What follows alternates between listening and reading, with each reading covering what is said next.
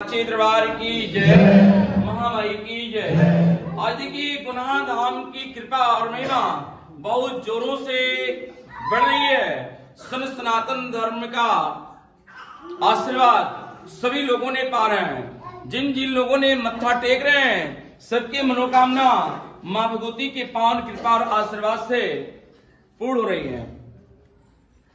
गुनाधाम में दो बच्चियाँ हैं।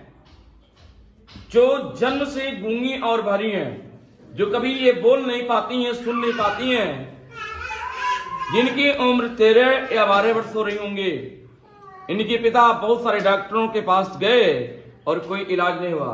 तो देखिए, कुछ लोगों ने हमारे वीडियो में बताया था कि गुरुजी जब न सुने और न बोले, तब सुनाइएगा। बच्ची सुनती नहीं है।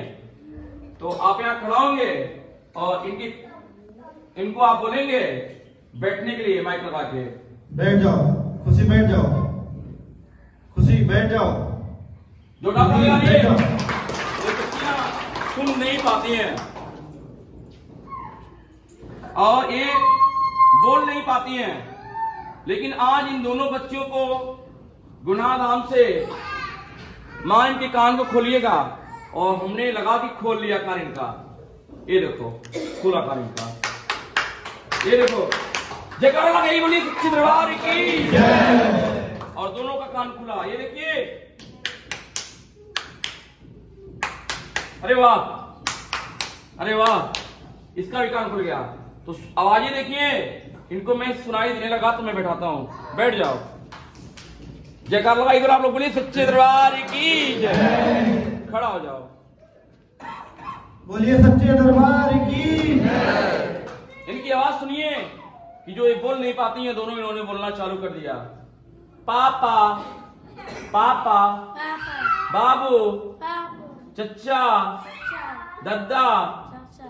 अरे वाह यार, बोलिए जय। ये देखिए, कितनी सुरीली आवाज़ बोली। चाचा। अरे जयकार लगाओ यारा चाचा। पापा। बाबू बाबू। भैया अम्मा।